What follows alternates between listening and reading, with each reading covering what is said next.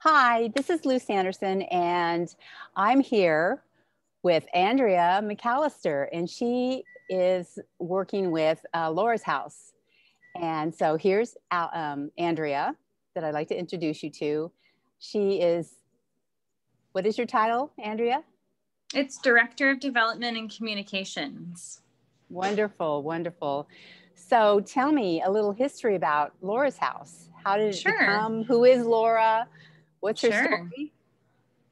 So, uh, first off, um, thank you for having me. And um, My pleasure. uh, you're doing this during Domestic Violence Awareness Month, and I see you're wearing your purple too. I am. So that's awesome. Um, you know, uh, Laura's House began as a community organization and was really the impetus behind the organization was a mother who had a daughter named Laura and unfortunately, she died at age 38 um, from a domestic violence situation. So her mother traveled, you know, down the coast to find some like-minded individuals. Um, this was in 1993, 94, and was looking for individuals that would help her find uh, a place that would assist in developing programming and resources for victims of domestic violence because at the time there were very little. And so in 1994, uh, she eventually got down to San Clemente, and there was a women's group, and they were really sympathetic and empathetic to her cause and wanted to help her honor her daughter, Laura.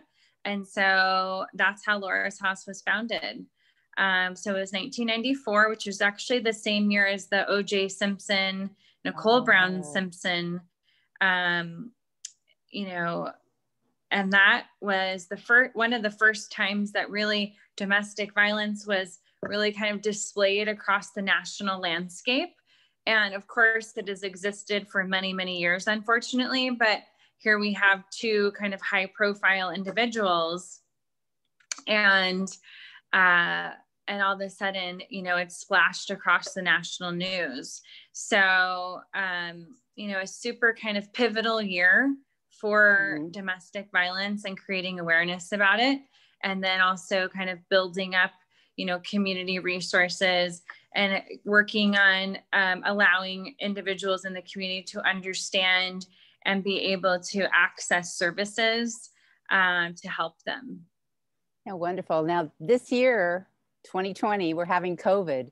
How is yes. this affecting um, the number of people that are reaching out to you?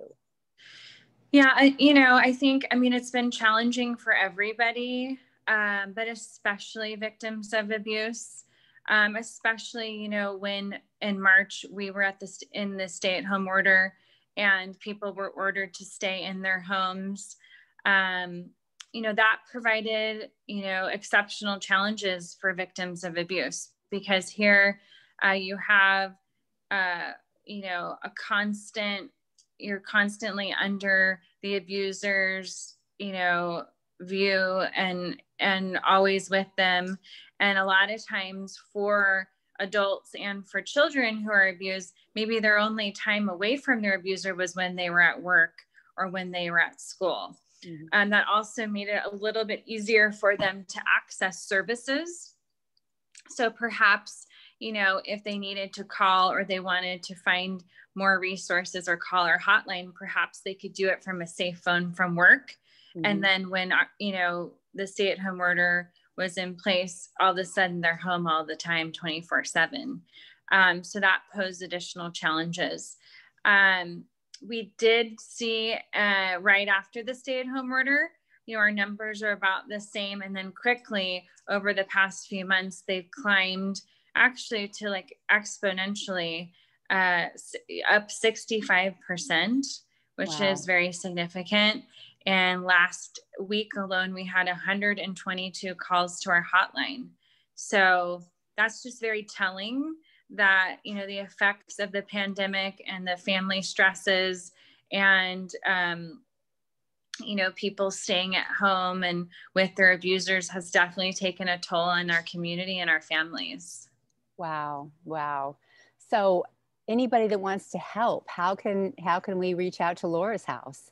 And what Sure. kind of donation? What are, what are you looking for as far as help within um, what Laura's house needs? Currently? Yeah, so so we have many ways um, to get involved. We always encourage um, people to visit our website because we have listed, you know, a number of ways, uh, which include uh, one, you can help do a gift card or wish list drive. Um, we have our most needed items up on our website, and those are great, uh, you know, very tangible things that we need, and um, and you can fulfill. Um, and we also have suggestions for gift cards, you know, Target, grocery stores, gas cards, etc. Um, we also have um, an awesome Amazon wish list, which makes it super easy. um, you can click and shop, and you can use Amazon Smile and designate Laura's house. And Laura's house even gets a percentage of your Amazon purchases. Um, and those items get delivered directly to us, which is fabulous. So um, those are very helpful. Um, and then we also have currently, you know, uh, because of the pandemic, a lot of our volunteer opportunities are a bit limited, but we do have um, opportunity to do some hands-on work in our donation center. Uh, we have two resale stores um, that benefit, the proceeds benefit Laura's house. One's in San Juan and one's in Lake Forest. And so um, our new offices off of Journey, 33 Journey, um, we have a donation center warehouse. That's in Aliso we- Viejo. Mm-hmm, and Aliso Viejo, Yeah. and we accept items there, and you can check our website for the hours. And um, we, you know, have been getting a surge of donated items, which is amazing. Mhm. And so we do need help in sorting and pricing, and um, all the health and safety protocols are in place. Um, and obviously, um, we want to protect both our staff and our volunteers. So um, we have it all set up so it's safe and easy to volunteer with us. That's wonderful. Now, Laura's House is a local nonprofit that really needs help, especially because of the crazy year that we've had.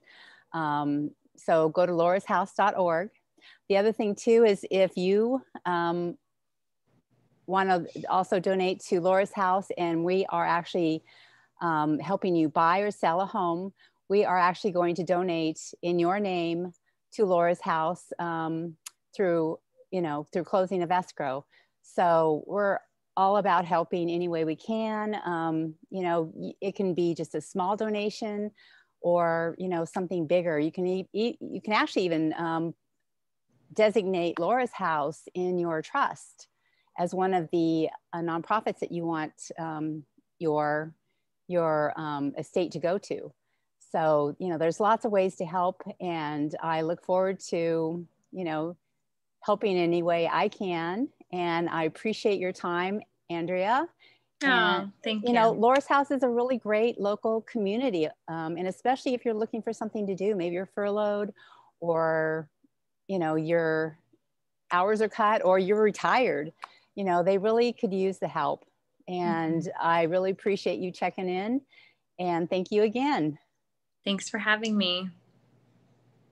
So, oh my gosh, now I need my glasses. I can Mhm. cut this part off.